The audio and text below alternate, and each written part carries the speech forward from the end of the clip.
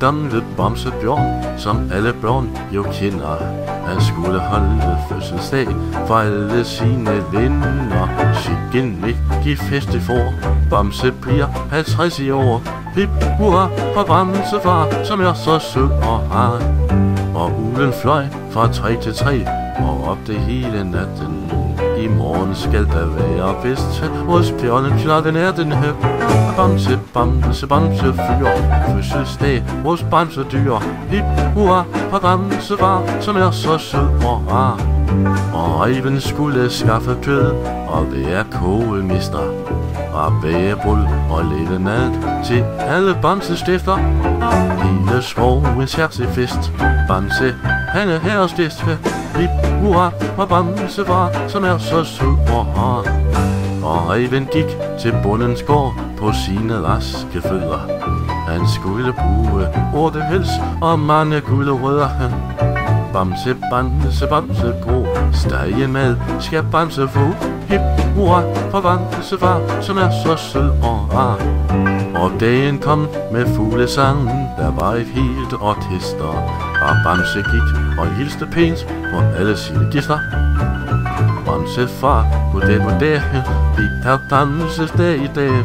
Hip, hurra, for bamse far Som er så sød og rar.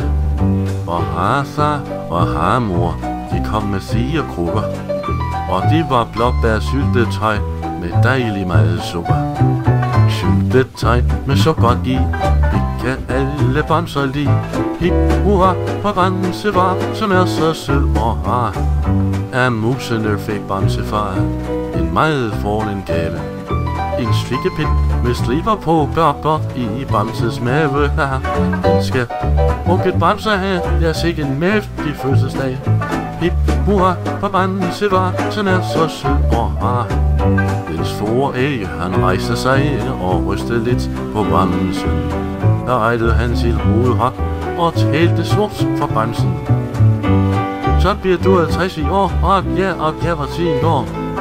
Hip nu for Bamse var, som er så sød og rar.